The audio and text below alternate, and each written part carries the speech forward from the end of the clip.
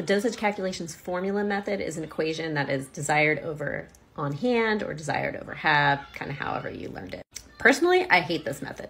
I never teach it to my tutoring members in my live tutoring program. And I barely even know the equation myself because there's so many better ways to solve dosage calculations. And by better, I mean ways that'll make you feel more confident and more empowered so that you can look at a dosage calculation, know what information, what numbers to pick out, where to put them to set up a problem, and then how to easily do the math without having to do like a million conversions before you can even use a formula. Now, before y'all come at me about, oh, but the formula method works for me, like if it works for you, that's great. I'm not mad at you, okay? Like, don't fix what ain't broke. But I get contacted by the thousands and thousands of students where formula method doesn't work for their brains. That's why I like teaching a form of dimensional analysis that's very, very specific to dosage calculations. So this isn't like dimensional analysis you might have learned in chemistry. Instead, it's a very straightforward step by step way to go through a problem every single time, the same exact way to get to the correct answer.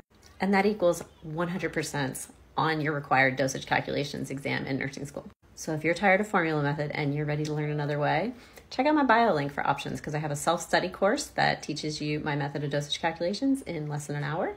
And it's also included in my live tutoring membership as well, where I can also help you and give you feedback. And if you get stuck, you can post pictures of the problem that you've been trying to solve so that I can help you get unstuck very quickly.